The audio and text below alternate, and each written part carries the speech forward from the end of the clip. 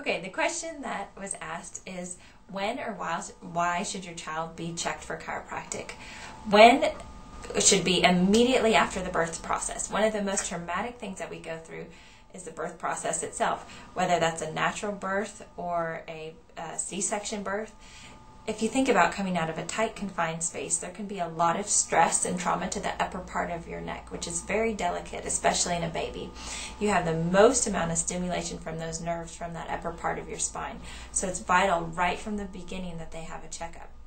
Also, by the time a child is five, it's said that they can have up to 5,000 falls, which, trust me, I can verify this having my own child now as they're growing and developing and crawling and walking and doing all this, they're constantly falling.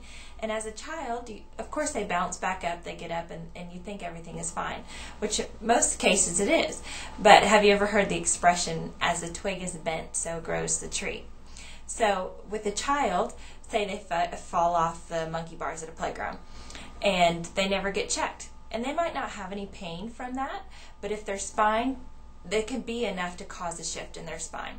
And if their spine stays in that position for a number of years, that's when later on in life you hear people say, you know, I just been over to pick up a pencil and, and my back, I threw my back out. I don't know what happened. It's not picking up a pencil that hurt your back. It's something that's been there for a number of years continuing to build.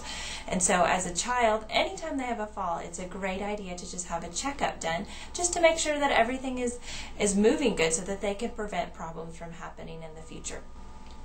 So um, obviously chiropractic care for a child is very different from adult. It's very gentle.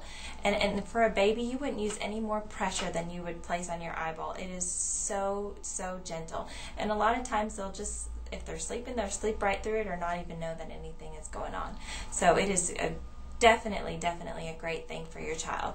And we have links for more information regarding uh, children in chiropractic care as well. So if you want more information about this or would like to have your child checked, you can click on the link below on this video and we will contact you.